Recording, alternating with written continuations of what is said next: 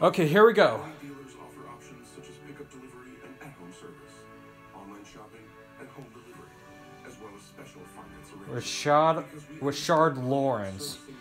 Well, another defensive tackle. LSU's 2019 second all-time SEC.